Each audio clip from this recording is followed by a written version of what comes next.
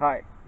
Today I'm going to show you what happens when you pour water onto a Halloween jack-o'-lantern.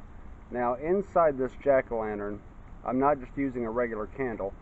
I'm using extremely hot melted wax that's burning. Um, when wax gets to a certain temperature and you pour water onto the wax, the wax will erupt in flames. But it has to get to that certain temperature. This jack-o'-lantern has been burning for quite a while now. So let's do some experiments.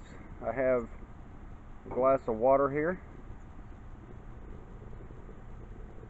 Take the top off and take a little syringe and let's see what a small amount of water does into the hot wax. Flamed up quite a bit.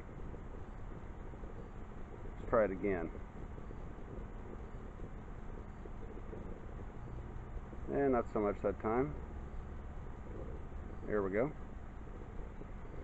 Now, let's take the entire glass of water and see what happens.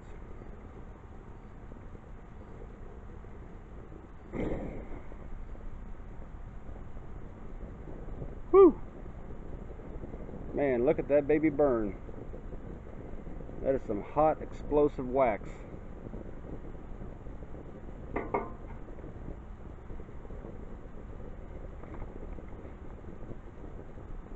Thanks for watching.